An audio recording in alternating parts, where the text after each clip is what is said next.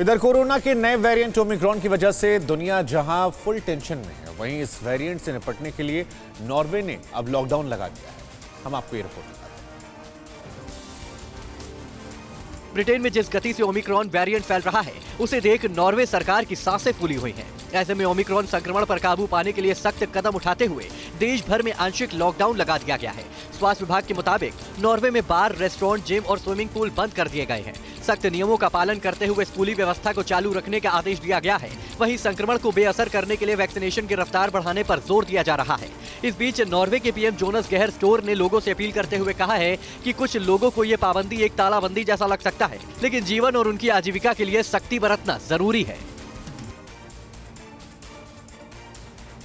Africa में एक और रहस्यमय बीमारी लोगों की जान ले रही है। अफ्रीकी स्वास्थ्य विभाग के मुताबिक रहस्यमय बीमारी के चलते अफ्रीका में अब तक नवासी लोगों की जान जा चुकी है।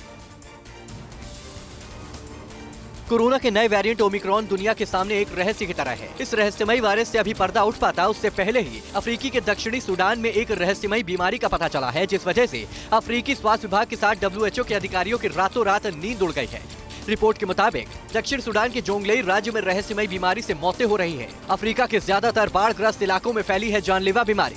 रहस्यमयी बीमारी के चलते अब तक नवासी लोगों की मौत हो चुकी है, जिसे देखते हुए सैंपल की जाँच के लिए डब्ल्यूएचओ ने रैपिड रिस्पॉन्स टीम अफ्रीका भेजने का फैसला लिया है।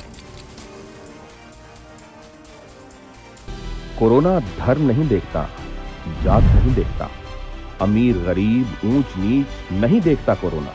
कोरोना सिर्फ़ मौका देखता है। लेकिन आप उसे मौका मत दीजिए। बस इतना कीजिए, जब कभी दफ्तर से, बाज़ार से घर लौटिए तो इतना ख्याल ज़रूर रखिए, कहीं आपके साथ कोरोना आपके घर तो नहीं जा रहा। भूलिए मत, कोरोना अभी ज़िंदा है।